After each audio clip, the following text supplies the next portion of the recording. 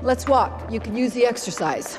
Will you stop worrying? We're set for life. We got Jimmy the Greek here. He makes Nostradamus look like a novelty act. Brandon, to the right, to the right.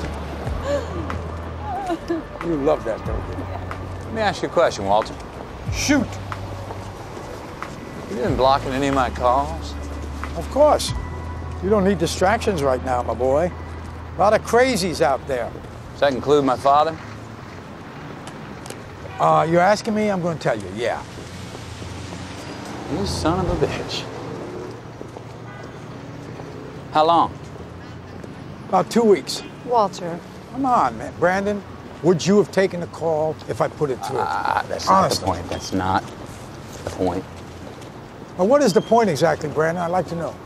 I mean, what's the story with you and your father? You tell me. You seem to know. Well, I know pieces. That's about all. Hey, man, I was just trying to spare you something. Spare me? What are you gonna spare me from, huh? He was a goddamn drunk. Left when I was nine. I couldn't compete with the bottle end of fucking story. So don't spare me nothing. If I want to talk to him, I will. Spare me, you fuck. Is that it? Is that all you got? Because I will match my dysfunctional childhood and Toni's against yours any day of the week. My father, five foot, arms like this, he had a cock like a Hebrew national. I even looked at him the wrong way. Smacked me across the room like Jake LaMotta. By the time I was five, he yelled at me so much I thought my name was asshole. Broke my nose three times. Toni, tell him, tell him about you. Come on. I didn't have a great childhood either, Brandon. Great. Tell him about the uncle. Oh, well, I think he gets the idea now. Come on. Suffice it to say, she was abused by everybody but the family pet. Okay, Walter, please. Your father was a drunk. He was a jerk, so what? It happens. I'm glad I blocked those calls. You know why?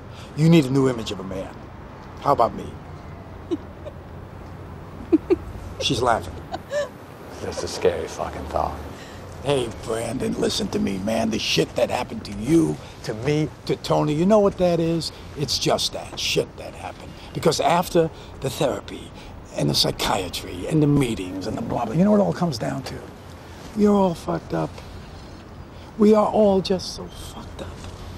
Now you gotta just say that shit out. I am fucked up and I ain't gonna take it anymore. Come on, you too, Toni. Come on, let's do it. Let's all of us wallow with me here a minute. We are so fucked up, we're not gonna take it anymore. I am so fucked up with all of you that I'm not gonna take it anymore. How's that? Hey! I'm trying to sleep here, asshole! That you, Dad? I'm gonna come down and kick your fucking head in! Don't wait up.